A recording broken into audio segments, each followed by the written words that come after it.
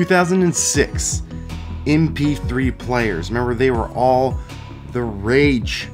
You're probably thinking Apple iPod. Nope, that's not what we're talking about today. Guess what? We're talking about today the Zune, the very underrated MP3 player of our time. Yes, this baby, in my opinion, is better than an iPod. So why did it fail?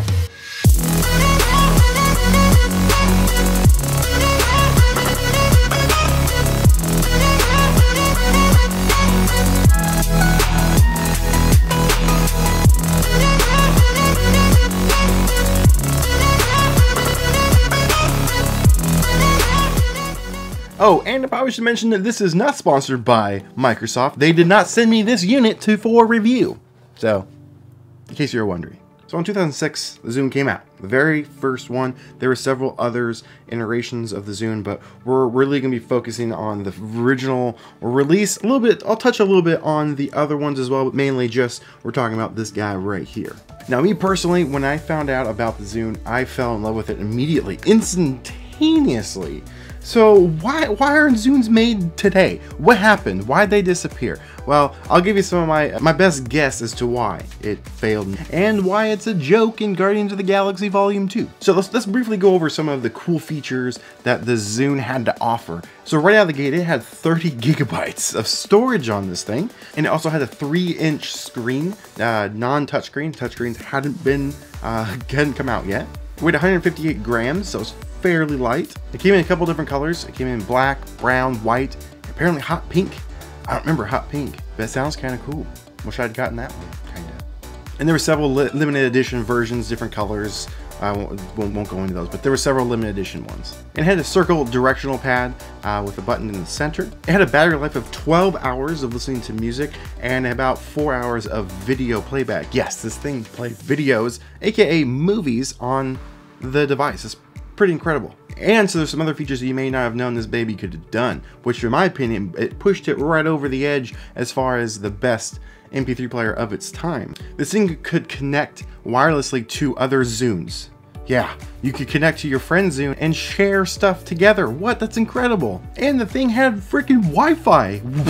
What? Yes, you can connect to the internet. I mean, not really actual web browsing internet, but you can connect to the internet and access the marketplace and download music and download podcasts and some and various other things, movies and some th stuff. I think you can even get games on it as well. I know it came preloaded with some games, but I believe you can even download some games as well. There was no other device that was out at that time that had those types of features. And it also had an FM radio. You could listen to radio on the damn thing.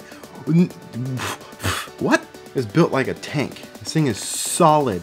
It is a it's a brick, but it's not heavy but it's just built extremely well. And the best part is it costs $250. This device here is my personal one that I had bought when I was 17 years old. I got my first job, summer job, I was working construction, and I bought the Zune, and I also bought my first car. They paired well together because I was able to listen to my Zune in my car. It was amazing. I had a Camaro, by the way, and it was awesome.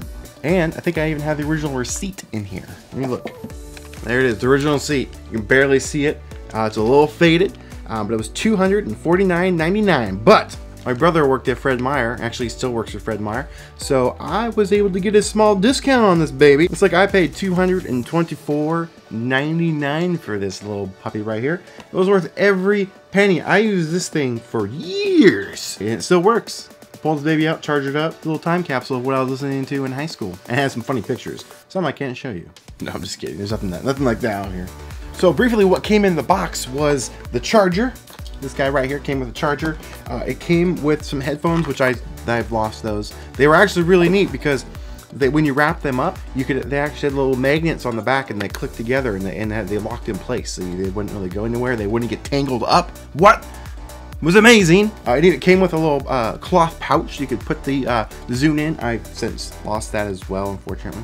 Uh, and then it came with CD-ROM. Remember those? You remember CD-ROMs? Yeah, it came with CD-ROMs.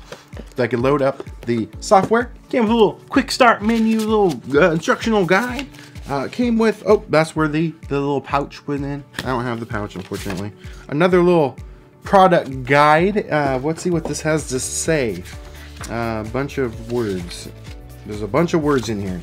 I do love the, the product boxing. It's very nice when you open it up. You're presented with the Zune and you, these little doors open up and the headphones were in here and on the other side they had the, the, the charger. It was very nice. Welcome to the social. It's very high quality uh, packaging, but after seven models of the Zune, it was discontinued. I think in 2011, if I remember right, maybe 2012, it was officially just gone off the marketplace. They only made it a few years, and it was sad. It was very sad for, for to find out that stuff.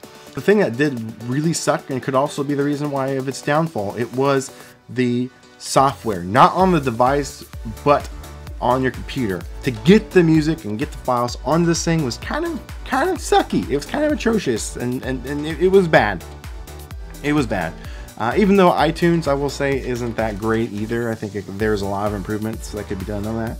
Uh, but the Zune one, it was it was terrible. It was trash. I've actually been tempted just to buy a, a, a Zune HD just just for kicks and play around with it. Maybe I will. If you guys want to see me do that, leave a, uh, some comments below and maybe I'll make that happen for you guys. So now I know what you're thinking. I know what you're saying. Like, Come on, Chris. iPods were out then. Those were the kings. That's still the kings to today.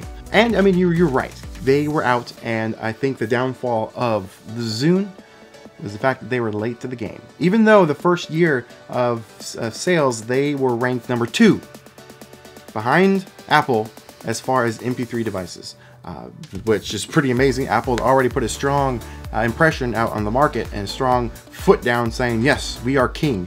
And Zune, Microsoft comes out nowhere, puts out an MP3 player, and, and instantly is number two, gave Apple a run for their money. It was $50 cheaper than the best iPod you could get at the time. The video iPod was out and it, it had 30 gigs and it was $299.99, $300. This guy had the same amount of gigs and it was $50 cheaper. And it had more features than the iPod did. But it didn't last very long. And people say the iPods just were superior and outlasted it. But I don't think that's actually the case. Because the following year, after this bad boy came out, the iPhone came out.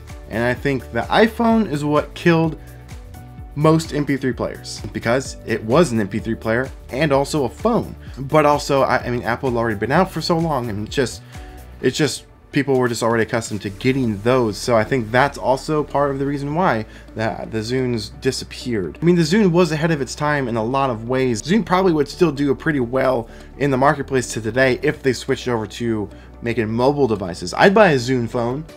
Yeah, I'd, I'd, definitely buy a Zune phone. Why, why did it fail? I think it was just because the smartphone world came out and that's what it killed pretty much all MP3 players. The last model of the Zune, it was the HD model and it was pretty incredible. It had 33 hours of battery life and like, I think eight or nine hours of video playback. Pretty insane. It, it was huge. I never got that one. This is the only one I ever got. I, I use this to death until I got my first smartphone. It wasn't an iPhone though, it was a Blackberry, and I even carried this around in conjunction with my Blackberry, um, but I do regret buying that Blackberry. It was pretty terrible. And then I got an iPhone, and it was game over. And it just kind of faded this guy away, just But I was pretty excited when I saw Guardians of the Galaxy Volume 2, and they brought this out. I was like, yes, I can bring it back out. I can use it with my Star-Lord cosplay, uh, even though it's the wrong color. The his was brown one which I regret.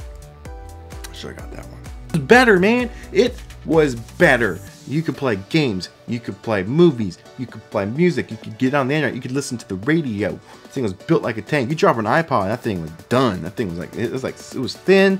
I mean, it was nice. It had like a little touch wheel, which was super cool. But this thing, you can drop it, and it was like, who cares? Pick it back up and start listening.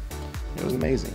So that's it, guys. What do you guys think? Do you have a Zune? Did you have a Zune? Did you want a Zune? Do you think the Zune was amazing? Do you think the Zune was trash and it deserves to stay in the trash, stay in that dumpster, stay in that landfill? Leave a comment below. Let me know. We'll have a discussion about it. So thank you for watching. Consider subscribing. I'm going to do a little, lot more of these little quick flashback episodes on cool technology. Thanks for watching, guys, and be sure to check back, and I will see you guys in the next video. See ya.